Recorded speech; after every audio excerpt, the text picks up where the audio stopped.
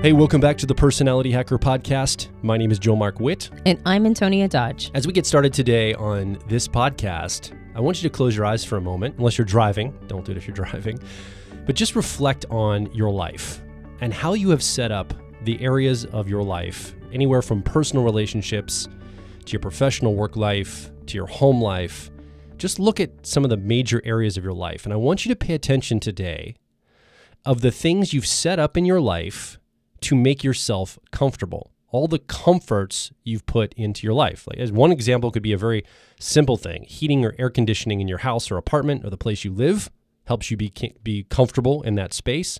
All the way up to maybe more complex things, how you engage with people, more esoteric things, less tangible like air conditioning units in the heat of the summer and more how you engage with people. Maybe you do most of your correspondence through email because you don't like to talk on the phone.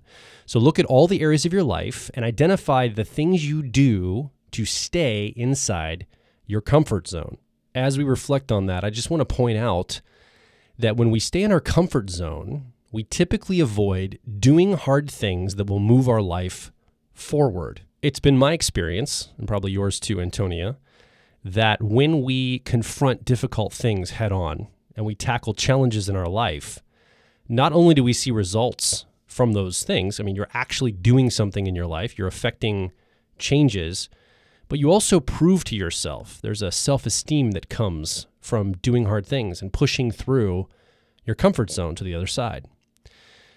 There's a, a call that we have here at Personality Hacker, a, a, a compelling drive that we have to bring to you as a listener to this podcast practical advice and how to's in your life.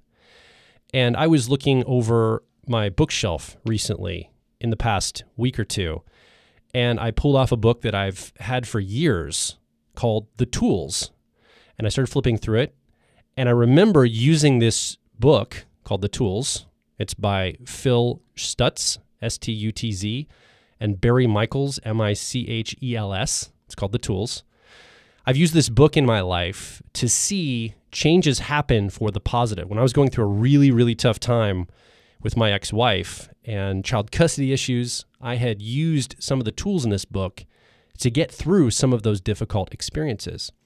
And so the exercise I just started this podcast with actually comes from that book. It comes from one of the first tools. There's five tools outlined in this book. And what we're going to do in the next five podcasts is detail one tool in each podcast and share some action steps for you in your life. So, the first tool is called the reversal of desire, and it addresses the, the self sabotage that each person does when they're staying in their comfort zone. This includes things like virtuizing characteristics that go against what it is that you ultimately want. Like, take, for example, if a person wanted to get to the next level of their career, but they didn't want to become, quote unquote, a sellout. And then every hard thing that is required to go to the next level, they then recreate a narrative or, or put a narrative on that thing that if they do that, then they would be selling out. When really, the narrative is a convenient way to not have to do anything that exposes them maybe to their fears or something that they think is going to cause them pain. For example, if a person didn't want to be a sellout, but really all they were doing is avoiding maybe putting themselves in a situation where they feel like their life is in the control of somebody else's hands, then they might say things like, Well, I can't do that because, and then they would refer back to a quality or characteristic that they have and not just that this is a characteristic, but it's actually a virtue of theirs. So what becomes a um, a self sabotaging behavior that keeps them from getting what they want is actually a, and and in fact creating virtues around it is actually smokescreen for not wanting to put themselves in a position where they fear that they're going to experience some form of emotional or maybe psychological or even physical pain. And we do this kind of thing all the time. We're always self sabotaging in order to stay in our comfort zone.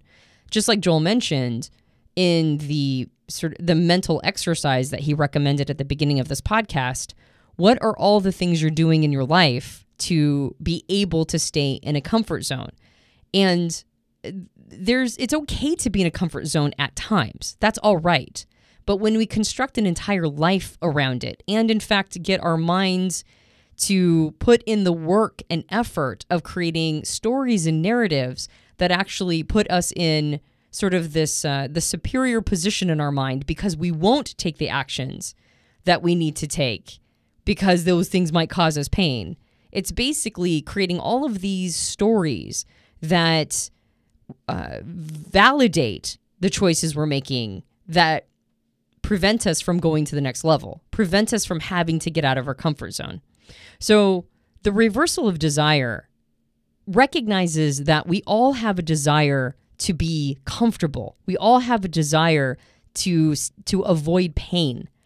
But if one reverses that, then instead of seeing pain and seeing all of these uncomfortable emotions that come along with it, as opposed to seeing those as something to be avoided, we reverse our desire and actually start to desire pain itself.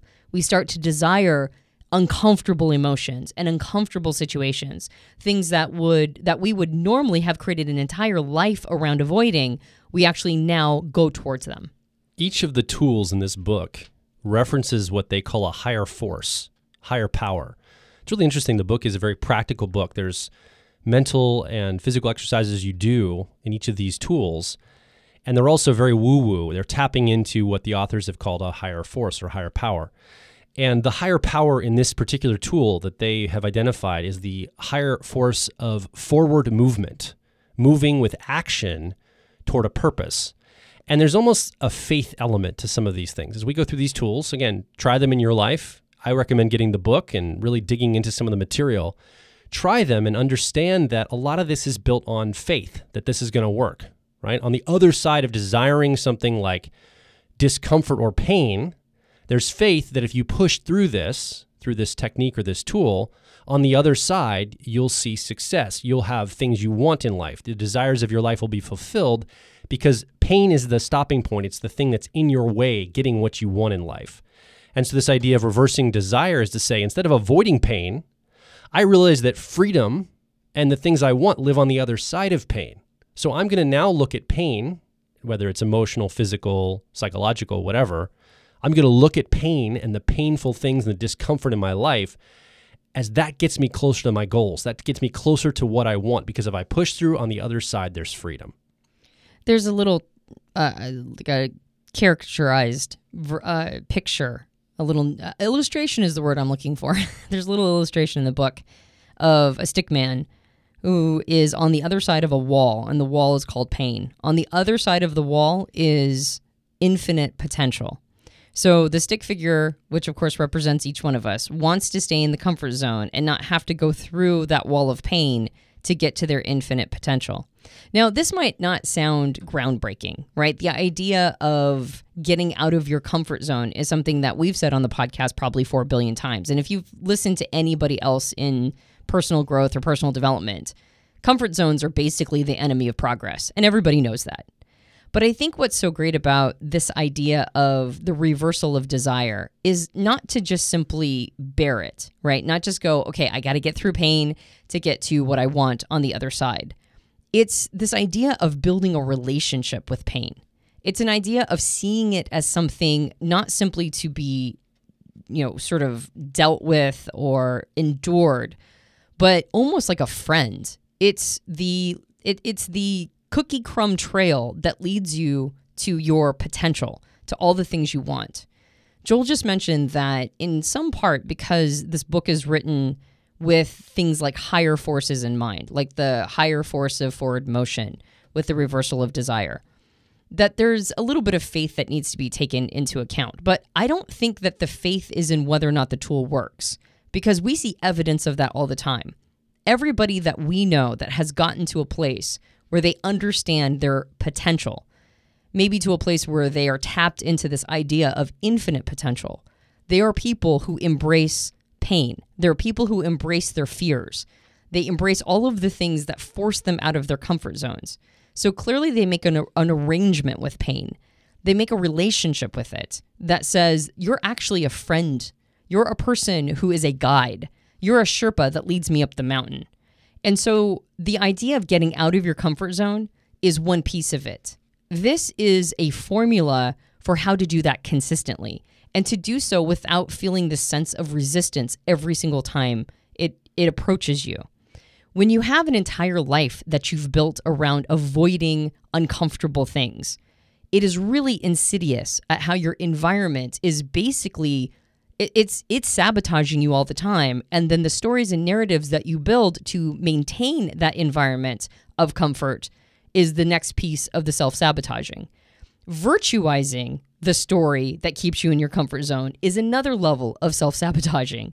So the only way to get out of this dynamic of constant and perpetual self-sabotage is to embody this idea of forming a relationship with pain something that is actually friendly, something that sees pain as your best friend. Now, that's hard to do as people. We are constantly seeking homeostasis. We don't like the idea of pain. But the faith that needs to go into it isn't a faith that the tool works. Like we look at people whose bodies are beautifully sculpted through a lot of pain at the gym or a lot of pain of doing resistance training. And so we know this is a this this is something that's kind of a no-brainer.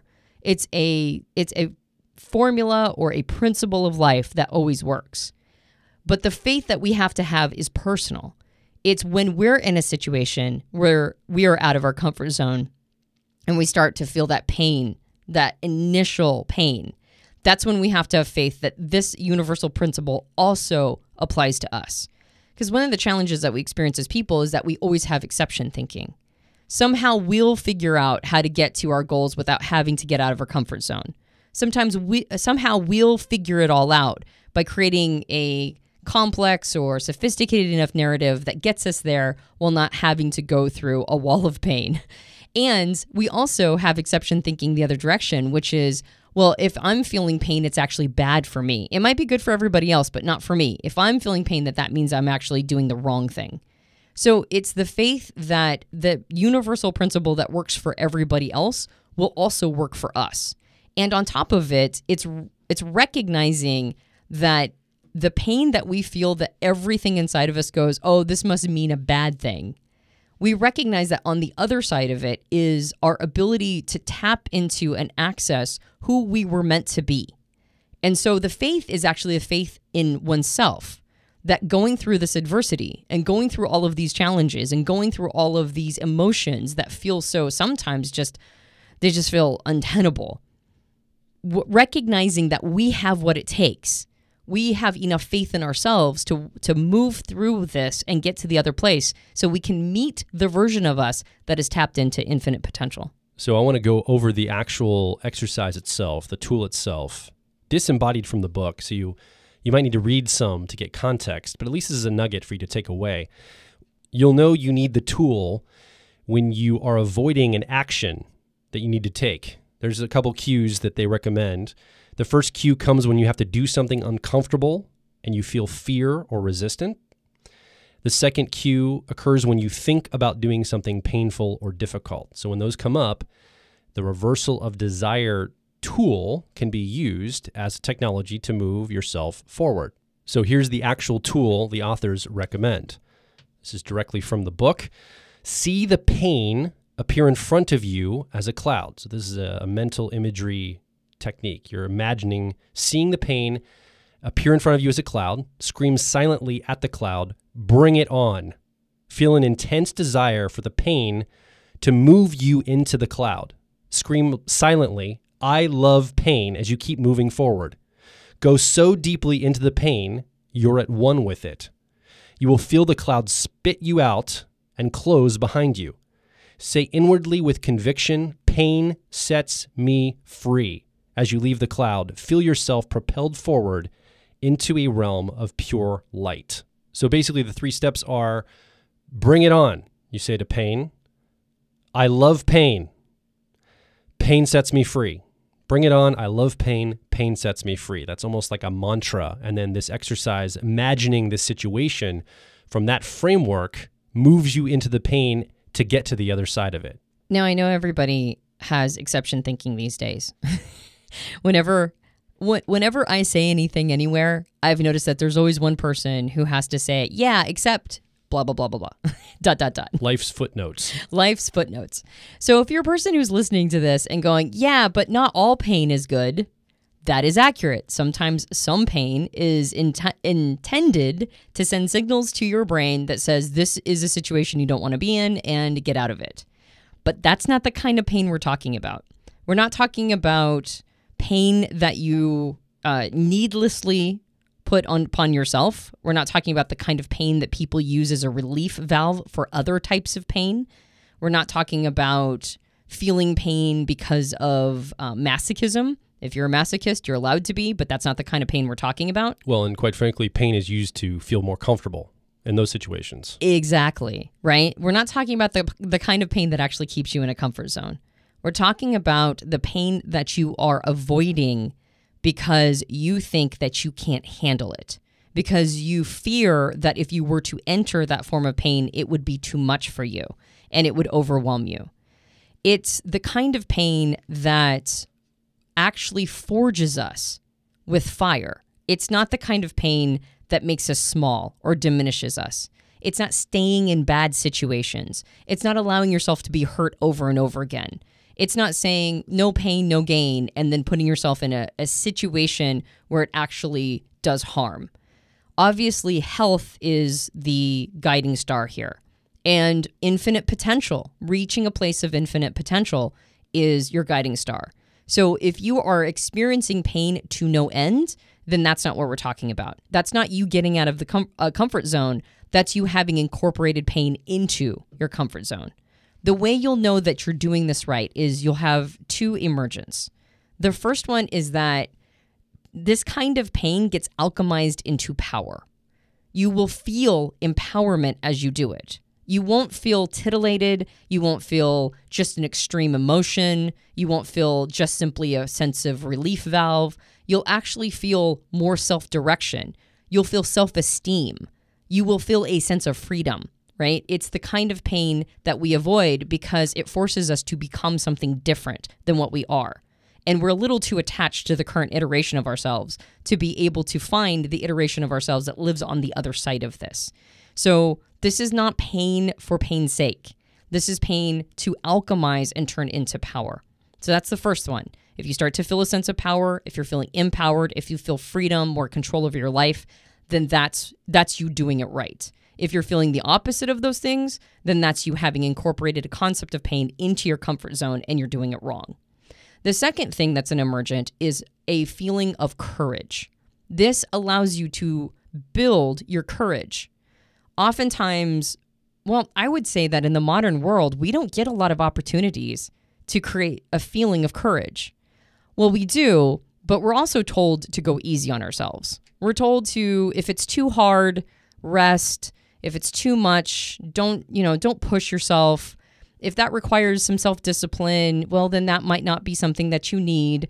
You know, listen to your body, listen to your emotions and honor them above all things. That is okay, okay advice, not fantastic advice, but that is okay advice sometimes. But if that becomes how you live your life, then you will not face who you are in a place of infinite potential right? Because you'll have gone too easy on the current iteration of yourself. You will not have been able to forge yourself into the person that you can become. One of the things that's required is courage. The best version of yourself has courage in spades because it has already gone through so many different situations of adversity and proven to itself that it's able to get through all of that and survive on the other side. That's how self esteem is created. So self esteem rides on the back of courage, and courage rides on the back of facing pain expectantly. And facing pain expectantly rides on the back of being able to see all the ways in which you are convincing yourself not to do what you need to do. So, in order to get to that place, you have to have gone through all of these different vehicles, including the vehicle of courage. So, one of the great emergence that comes from this entire system is that you have a generalized sense of courage. Now, courage is a muscle just like anything else, but it's also habituated. You do get to a place eventually where courage becomes something like kindness, right? If you're a person who had to work on kindness, maybe you were really self centered and you just think about yourself all the time. And you've had to work on thinking about other people first. You've had to think about the idea of seeing things in terms of other people's best interest, not just your own. Eventually, if you work on the muscle of kindness, it becomes a way of being, a way of engagement and interaction. interaction. The same thing applies with courage. Eventually, you get to a place where you don't have to bolster everything up every time you're in a situation that requires some courage. It becomes something that's just sort of a lens that you see life through. And you realize that you've gone through so many different situations that you've proven to yourself that you can get through. This one's probably just as survivable as all the other ones. And you get to a place where you kind of want to test your mettle. Courage is something you you experience not when you don't feel fear. Courage is something you experience when you're feeling fear. It's the ability to get past it. It's ability to rise through and cut through all of that and be willing to face all of that expectantly. And so courage becomes something that eh, sort of allows you to engage with all the stuff in life that normally would have kept you down. And then once you're seeing life through this lens of courage, you do get to a place where you wonder if anything can take you out. And now it becomes more of a game, right? Courage helps you gamify life and see things more through the lens of, yeah, I think I can do that. You stop doubting yourself. All of the rewards that come on the other side of being willing to reverse this desire, all of them are so, I mean, they're so important. And this is why people in personal development are constantly going on and on about it. It's because the person that you will meet on the other side of all of this really is free. This is a version of yourself that has so much, it's not just potential, it has so much realized potential that there really, there, there couldn't be a better tool to start with. So I want to draw some attention to the woo woo elements of what we're talking about here, too. And some of this is going to have personal opinion and personal experience woven into it. And I understand that. So you have to take this for what it is in your life. I have noticed in my life there are energies at play that I'm almost like my myself as a vessel, as an attunement instrument, is almost like a radio tuning to a radio signal. And these energies at play in the world, I can attune myself to. You've probably had the experience, maybe even recently, of feeling real down and negative, maybe not even knowing why, where events in the world, fears, trauma, anxieties, the media messages, the things you're seeing and hearing you feel agitated maybe some days and you feel upset and anxious. Well, you're attuned to a certain energy field of anxiety, fear, stress. And this can feel very real. It can feel very tangible, even if you don't have anything specific that might be causing that. You're you're almost picking it up from the world at large, from society, the media, things of that nature. And you've probably taken steps in your life to ensure you are managing your mental health and your emotional health so you don't feel those ways. And there's it's something going on beyond just what's happening in your life. Like you're not on, you know, the the Serengeti being chased by a lion hundreds of thousands of years ago, and yet your body and your emotional response might feel that way. It might trigger those responses even though that's not literally happening. You are tapped into, attuned into an energy of sorts. And maybe it's not a good energy. And I think what we're talking about here is attuning yourself to more empowering energies that are in the world. So it's a little abstract, but I really believe this is what's happening. And it might take a little bit of skill to get there. You do this exercise, the book recommends, you go through the motions, you do the mental imagery, you try to put yourself in the emotional state, you, you scream at pain and say, bring it on. And maybe you don't feel the results or see the results in your life. Well, you're still learning the skill of attuning yourself to these energies that are more abstract. So stick with it. If you don't see results directly, stick with the exercises because I believe that if you do them enough, you will attune yourself to those energies. Just like if you listen to society or media enough, they eventually attune you to their energies and you almost can't escape it. So it's on a long timeline. This might take some discipline, practice, and skill building to get there. Yeah, these higher forces in the book I, I don't think that you have to be too into the woo to kind of understand where they're coming from. Like I, I everybody hates it when you use the phrase woo woo. they hate it when we do it. Uh, the the NFs are like, don't discredit the things we're into, and the NTs are like, oh, here it comes.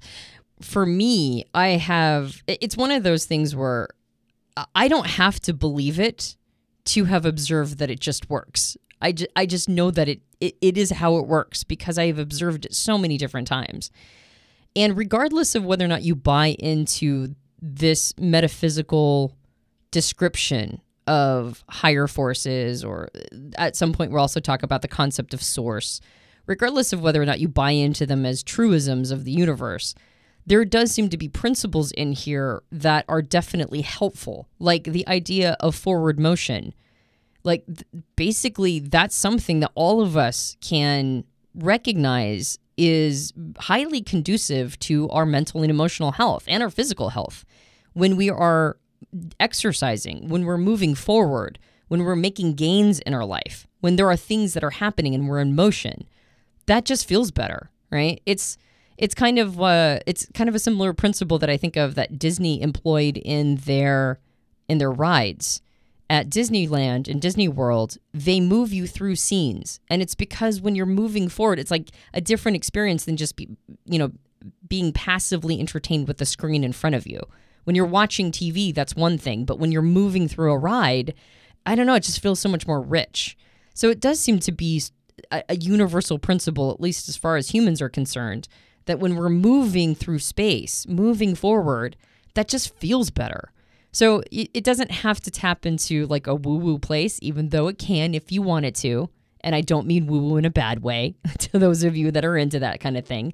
But it does seem like there are reasons why we have these explanations in lots of different paradigms and perspectives and, and explanations of how everything work because these might be sort of pylons of just how we have evolved to engage in, you know, in the life, the universe, and everything. I think one thing that the book really highlights, which I think is important, and this is something that you say all the time, Joel, that learning isn't just understanding, learning is behavior change. It's an embodied experience. Real learning is embodied, it's integrated into who you are, and it's integrated into your life. So, once again, this idea of getting out of your comfort zone is not groundbreaking, but actually getting out of your comfort zone is groundbreaking. The actual action of doing it. So, as Joel mentioned, they recommend in your mind doing these exercises of telling yourself that you love pain, bring it on. Pain is on the other side of pain is freedom. Like actually integrating this message, not just understanding you've got to get out of your comfort zone, but turning the unconscious conscious, looking around at your life and the landscape and the feng shui of everything you've set up in your world. How much of what you've set up in your world is designed to keep you comfortable? How much is designed to allow you to avoid interacting with people you don't know? How much is designed to keep you from having to make phone calls that are uncomfortable or having to engage in conversations that you can't control the outcome of? How much is set up to make sure that you don't have to deal with people you don't want to deal with or make you know make a commute you don't want to, make or whatever it is right? How much how many of the things you want in life live on the other side of this? Start making the the unconscious conscious. Start looking at everything in your world that you've built to keep you in that cocoon one thing that I have observed and noticed, and I don't know if this is everybody or this is just something that I've seen, but in younger generations, I've noticed that people are very avoidant of even greeting somebody that they haven't engaged with first. Like we've noticed this with um, like sitting in hot tubs. If there's a person our age or older, they'll just come join us in the hot tub if it's like a public hot tub. But other like younger generations will hold back and wait until we leave it's a general idea of not wanting to engage with somebody that you haven't vetted first. And I think it's because in the modern world, we're able to vet everybody digitally. Like we're able to kind of feel them out digitally first, and then we go find them. This you see in dating apps, you see this in basic general interactions and engagements with people. And I think it's a metaphor.